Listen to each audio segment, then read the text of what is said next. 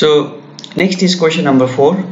Write the four equivalent fraction in each of the following numbers. Equivalent fraction लेख्नु पर्यो decimal number दिएको छ then we have write the fractional number so zero point eight फर्स्टमा छ zero point eight यसको four equivalent fraction लेख्नु equivalent fraction you know what is equivalent fraction equivalent fraction is the fraction whose value is same जसको चाहिँ value same हुन्छ त्यसलाई हामी म एक दुईवटा इक्जाम्पल पहिला बताउँछु for example for example one one by two let us consider some example of equivalent fraction.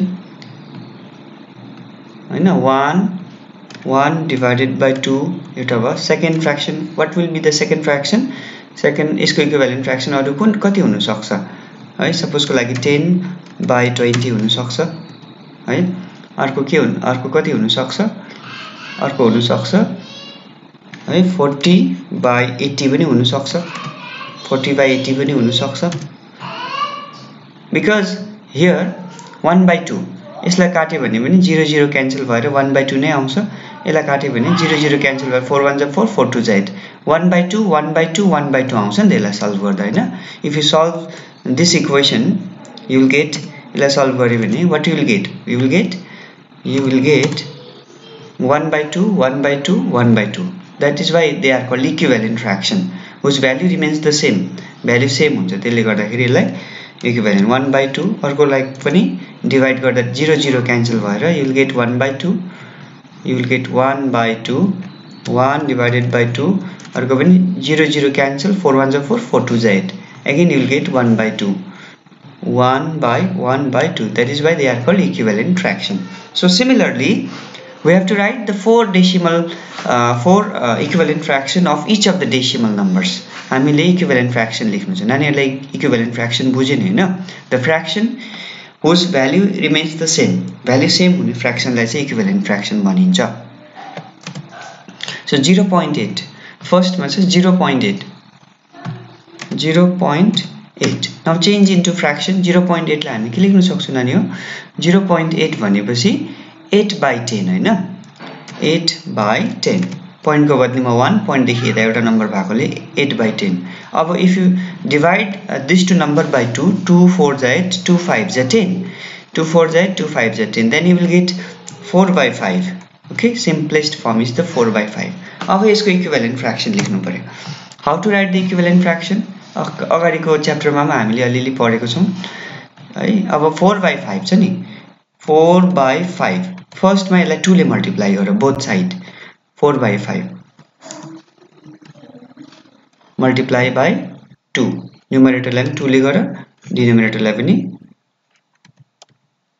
डिनोमिनेटरलाई पनि केले गर टूले नै गर two so how much you get four two जा एट फाइभ टू जा ten so eight by ten हुन्छ टूले नगरेर थ्रीले गर फर्स्टमा एट किनभने एट बाई टेन त फर्स्टकै नम्बर हो नि त सो थ्रीले गर थ्रीले गर ओके एट बाई टेनै आउने रहेछ। त्यसले गर्दा मैले अहिले चेन्ज गरेँ थ्रीले गर्ने बनाएँ। थ्रीले गर्दाखेरि you will get four three जा twelve divide by five three जा फिफ्टिन ओके अब टुवेल्भ बाई फिफ्टिन आयो अब फेरि फोर बाई फाइभलाई थ्रीले गऱ्यो। अब फोरले गरेर multiply four by five multiply by four both side four by five माथि पनि फोरले मल्टिप्लाई गर्छौँ। multiply by 4 divided by multiply by 4 how much you will get you will get 4 for the 16 by 4 5 the 20 16 by 20 अब 5 ले गर 5 ले गर 4 by 5 लाई multiply 4 divided by 5 both side 5 ले गर्नुपर्छ into 5 into 5 how much you'll get you'll get 4 5 is 20 by 5 5 is 25 20 by 25 20 divided by 25 so again you have to multiply both side by 6 next number is 6 6 ले गर्नु पर्यो 6 ले multiply गर 6 ले 4 by 5 लाई 4 by 5 लाई 6 ले मल्टिप्लाई गर multiply by six divide by multiply by six equals to होइन फोर सिक्स जा twenty four by 4, 6, 5, so 30. So these are the equivalent fraction. These are the equivalent fractions. So the equivalent fraction of, so the equivalent fraction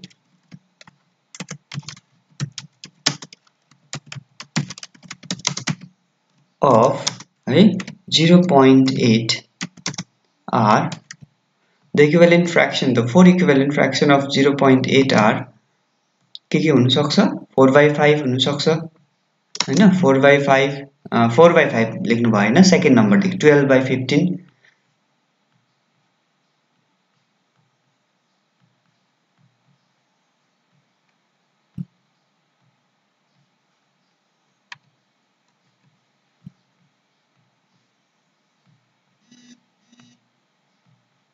okay the first number will be 12 by 15 comma लगाउनु नेक्स्टमा लेख्नु पऱ्यो 16 by 20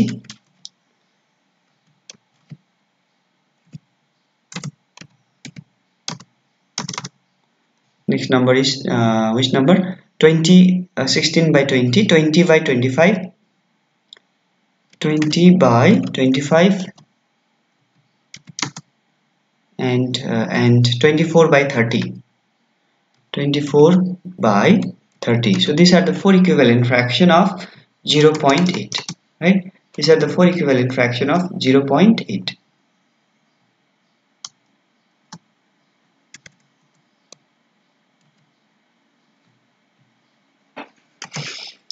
12 by uh, 12 by 15 16 by 20 20 by 25 24 by 30 यसरी लेख्छ। Equivalent fraction लेख्दा first you change into a zero point एटलाई पहिला नानीहरूले फ्र्याक्सनमा लैजाऊ which you will get four by five अब फोर बाई फाइभले थ्रीले मल्टिप्लाई गर पहिला फोरले गर फाइभले गर सिक्सले गर जतिवटा चाहिन्छ त्यतिवटाले गर्दै जानुपर्छ।